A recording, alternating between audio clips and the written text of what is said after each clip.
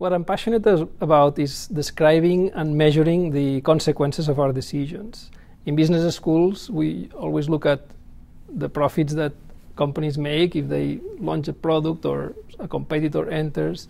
Um, human resources manager may be thinking about how many days of vacation to give to the employees, uh, or uh, or in marketing we may be looking at consumers and how often they buy this, they make purchases or dine out, or how many concerts they've done over the year.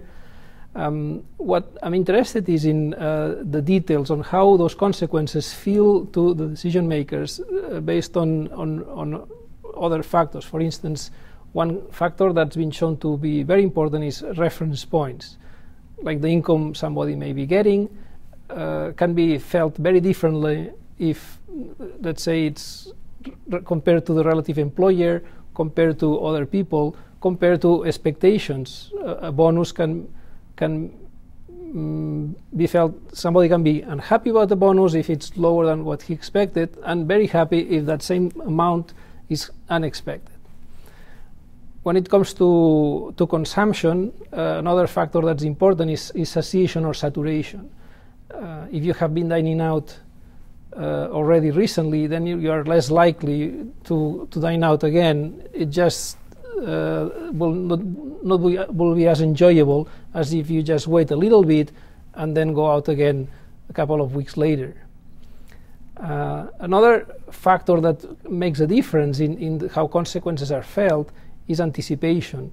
For instance, when we book a, a vacation, uh, part of the, the the value that we get from it is the anticipation we obtain uh, before the vacation time, just looking forward to it.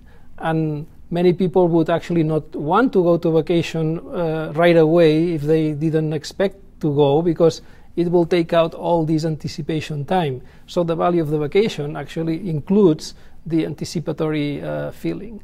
So why is it important to care about these feelings? Well, first of all, to understand ourselves better. So how uh, are we going to feel about the consequences, and at the end of the day, what are our objectives and what I should care about.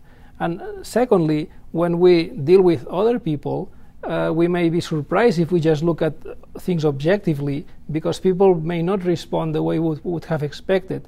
Whereas if we include these other factors, maybe companies can then decide what's the optimal time to announce an event so that people will be able to anticipate that event or even pay more to go to the event.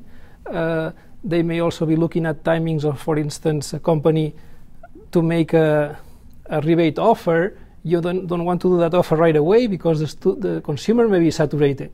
But if you just wait a little bit more, they may then be already willing to repeat the experience later. So it, it can then improve the way we interact with people and make them offers that are more valuable because they'll feel better about it.